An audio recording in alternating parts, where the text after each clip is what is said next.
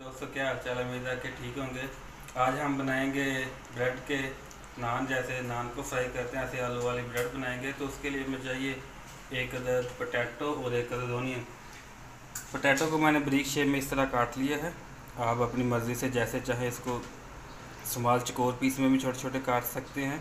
ये मैंने काट लिया है। अब एक अदर प्याज है, इसको काटते हैं। तो नाजरे हम प्याज को छोटा छोटा ब्रिक ब्रिक काट लेंगे।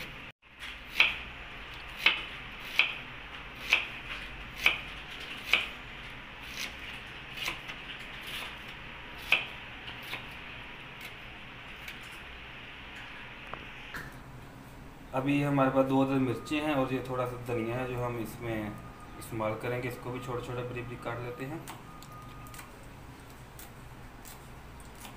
आप इसमें अपनी पसंद के दूसरे वेजिटेबल भी डाल सकते हैं, जैसे बैंगन वगैरह, गोभी या गाजर। जो भी आप चीज़ पसंद करते हैं, वो आप डाल सकते हैं इसमें। ये तो घर में इमरजेंसी के लिए, मसलन घर में कुछ भी ना हो तो आप इसको बना सकते हैं। मुझे भूख लगी थी और जो है सालन वो बनने में देर थी तो मैंने कहा, चलो, यही बनाते हैं और आप दोस्तों के साथ अपनी रेसिपी शेयर करते हैं।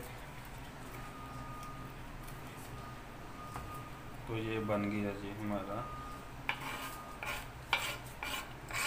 क्या हम इसमें थोड़ा सा बेसन डालेंगे? तकरीबन तीन चम्मच बेसन डाल लेते हैं। तीन चम्मच हाँ चार कर लेते हैं, चार चम्मच बेसन। अब इसको हम मिक्स कर लेंगे। चलो। अभी हम इसमें थोड़ा सा ज़ीरा, सुबह जायका ज़ीरा। ये साब पिसा हुआ, ज़ीरा थोड़ा सा डालेंगे इसमें।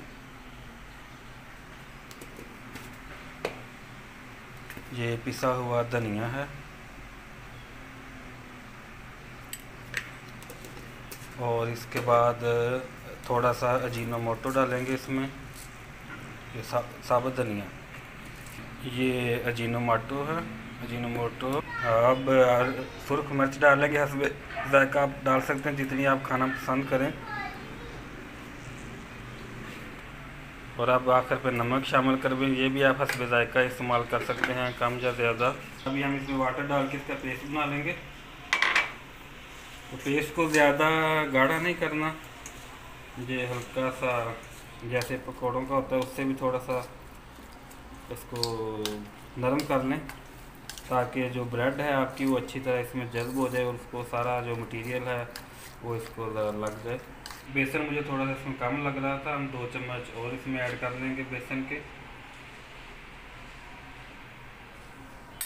कर लेंगे।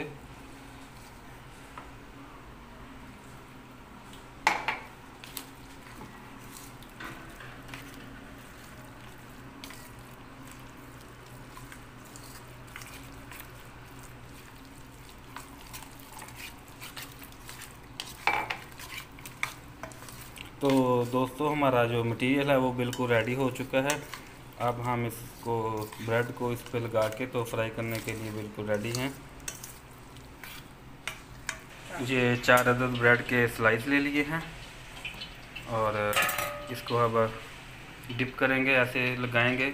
ऑयल भी गर्म हो चुका है हमारा।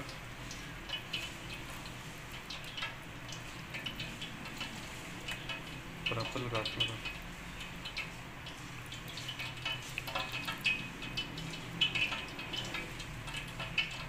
हाँ ठीक है ये इसको फ्राई होने के लिए डाल दिया ये बहुत ही इजी और आसान रेसिपी है इसको ज़रूर ट्राई करेगा तो ये देखें, ये फ्राई हो रही है। इसको हम लो आँच पे फ्राई करेंगे। अगर तेज़ पे करेंगे तो जल जाएगा और जो पोटैटो वगैरह है वो ज़्यादा अच्छी तरह पकेंगे नहीं। तो इसको हम लो आँच में पकाएँगे। तो ये एक साइड से पक चुका है, हम दूसरी से इसका चेंज कर देंगे साइड तो ये देखें दोस्तों कैसा ज़बरदस्त बन रहा है। ये आप ट्राई करेंगे तो आपको बहुत ही मज़ेदार लगेगी, बहुत ही इजी है। कोई भी अगर चीज़ घर में ना हो तो पोटैटो और ओनियन वगैरह हर घर में होते हैं, बेसन और ब्रेड भी तो आप इसको ट्राई कर सकते हैं। तो ये दोस्तों फ्राई होके आ चुका है बाहर और ये अभी और हम फ्राई कर रहे हैं। देखिए लाइट आग पे बिल्कुल आपने इसको क्या कहते हैं फ्राई करना है नहीं तो ज़्यादा में करेंगे। हाई आँच पे तो वो जल्दी जल जाएगा। अंदर से जो पोटैटो वगैरह है वो थोड़े से कच्चे रह जाएँगे। जी लबीब अहमद कैसा बना बेटा? जमी okay very good thank you recipe ready हो चुकी है अब ट्राई करते हैं। तो ये साथ में दही भी है दही की चटनी रहता तो ये है।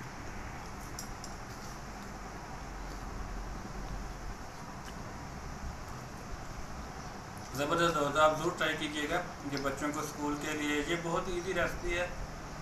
आप इसको अगर घर में कुछ भी ना हो तो इजीली पाँच दस मिनट में बन सकती है। आप ज़रूर ट्राई कीजिएगा।